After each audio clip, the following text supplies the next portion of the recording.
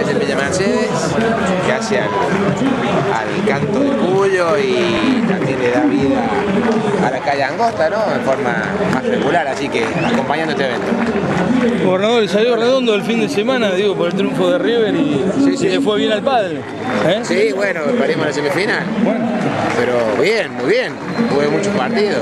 Lindo, muy lindo. Y me contaron que el evento estuvo espectacular. Recién acaba de terminar, no pude participar de la, de la, de la final. Les dice que estuvo bárbaro, bárbaro. Así que hay muchas expectativas respecto a esto que tiene que ver con la edición de Cantacuyo. bien, me parece fantástico. Este, creo que las noches anteriores estuvieron muy, muy también este, concurridas, muy buenas. Así que es una forma de ir dándole continuidad, dándole vida a todo este complejo que es tan, es tan lindo. Claro, por supuesto. Esto forma parte de la integración de Bella Mercedes al circuito turístico de la provincia.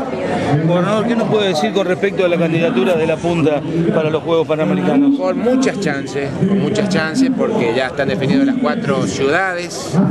Este, y el próximo viernes vamos a presentar en la asamblea de la ODEPA cada ciudad va a defender su propuesta y su postulación, así que con muchas chances, muchas chances, cada vez más cerquita. Claro, sí, está planteado como sede y subsedes también es otra novedad, que como ciudad una ciudad nueva, tiene, cumple 10 años ahora en junio, y, bueno, y, la- y las rivales son ciudades grandes, así que es muy parecida a la competencia con Rosario, así que con muchas chances. Infovideo San Luis.